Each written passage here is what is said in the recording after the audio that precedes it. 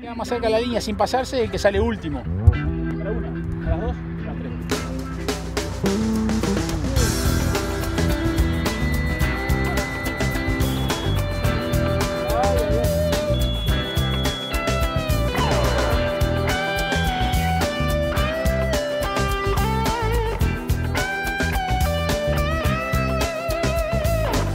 Creo que lamentablemente esta pandemia ha, eh, ha posicionado algunos deportes un poquito más que a otros. Y bueno, eh, en realidad lo que sería el golf y el fútbol diríamos que serían los, los deportes este, por excelencia de la pandemia porque son al aire libre, con mucho distanciamiento, cada uno trae su, su pelota o los palos en el caso del golf, entonces no hay, no hay contacto para nada. Eh, y bueno, sumado por supuesto a que he ido creciendo con los distintos torneos nacionales e internacionales que se están jugando este, en, en, este caso en el país, pero bueno, en, en, todos lados tenemos la suerte de tener el campeón del mundo que es Matías Perrone, que es argentino.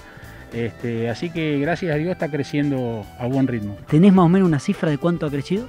Mira, ha crecido bastante, tal es así que el último encuentro patagónico que hicimos tuvimos eh, una concurrencia de 60 jugadores, que siempre costaba porque estábamos hablando del orden de los de los 40, o sea que si vamos a, lo que es los números fríos podríamos hablar de un incremento de un 50%, sumado a que mucha gente viene por ahí en la semana y no les gusta disputar torneos, que viene, que se junta con los amigos y que juega y que lo toma más recreativamente.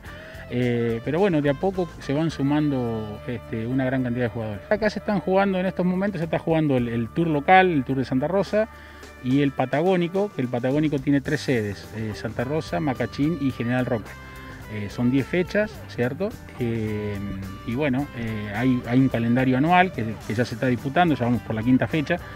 Y después están los torneos de la liga profesional, aquellos jugadores que tienen handicap 0 o menos, que pueden acceder a, jugarla, ¿cierto? Que también esas son 8 fechas. Y que eso es, es algo importante porque por ahí hay una selección argentina de fútbol y el mundial iba a ser el año pasado, por cuestiones de pandemia no se realizó, iba a ser en Japón. Eh, ahora se pasó para el año 2023 y bueno, el que tiene alguna aspiración deportiva un poquito más, más elevada este, ya puede jugar ese tipo de torneos. Y es una buena actividad porque aparte ten en cuenta que la vuelta a los 18 hoyos estamos en el orden de los 7 kilómetros, o sea que además de, de jugar, patear, es, es un buen ejercicio de caminata.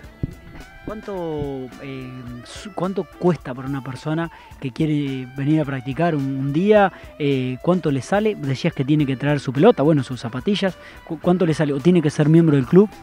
Mira, hay dos alternativas, o se asocia al club y paga una cuota mensual de 1.900 pesos, que eso le incluye jugar de, de, lunes a viernes sin pagar green fee, diríamos, o sea que puede jugar gratuitamente, se paga un green fee los fines de semana, salvo que los fines de semana haya torneo y la cancha esté, esté ocupada. Eh, y si no, si alguien quiere venir por única vez y demás, este, se está cobrando 500 pesos eh, la vez que quiera venir. Eso es naturalmente sin límite de horario. Hay una plataforma en la cual hay que anotarse, porque las salidas son cada 10 minutos. Esta fue una, otra de las cosas buenas que nos trajo la pandemia, porque creo que de esta manera se ha organizado mucho mejor el tema. Eh, entonces este, se está haciendo bastante estricto con los horarios y eso ayuda a que, a que todo el mundo pueda jugar, ¿cierto?